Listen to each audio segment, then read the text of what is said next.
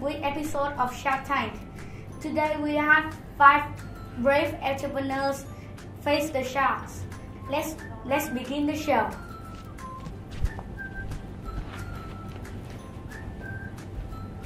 Hi sharks, my name is Mai and I make cookie dough. Do you know if you look on a jar of cookie dough, many of them will say, warning, do not eat raw. But children can't stop themselves from sticking their hands into the cookie dough and, and taking it when they're trying to bake cookies. But cookie dough contains raw eggs which make children sick. Well, I found the solution. Edible cookie dough. It doesn't contain raw eggs or have anything that make children sick, but it contains the same ingredients that make it just as delicious.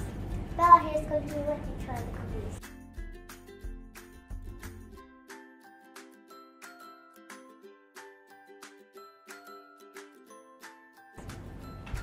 This cookie dough comes in four flavors, vanilla, chocolate, banana, and strawberry.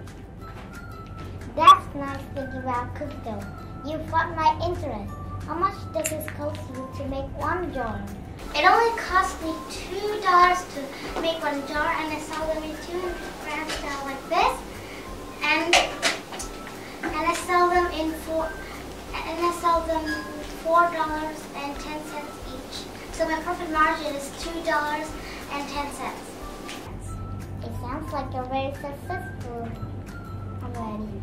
Why are you here asking for an investment? Well, I need robots to do the packaging because I do them myself and it really takes a lot of time. I need three of, of the robots to really get my business off the ground. So you're asking for $150 investment. I'm willing to give it to you if you give me 15% shares of your company. I happily accept your offer. Great to hear. I'll be interested to hear of any further opportunities to compare you in the future. I wish you luck and making more ideas with your wonderful cookie empire. Thanks. Congratulations. Bye. So, Mai, you've been offered a huge investment by one of the sharks. Offered a huge investment by Lily. Hmm, how are you feeling? I'm feeling very happy because this course was going to for this club and, and, and I think my mom will be really proud of me. Congratulations to you. Well done. Through participating in Shark Tank, the students have learned the principles of business, the principles of marketing, and these they have applied to creating, marketing, and writing a pitch for their own product.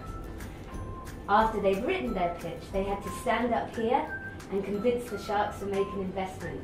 In doing this, they practiced their communication, business, and persuasion skills.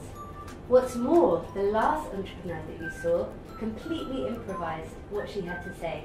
The response of arguments here was also improvised, so you can see how well they understood the principles of marketing, and they did an excellent job at Shark Tank 2018.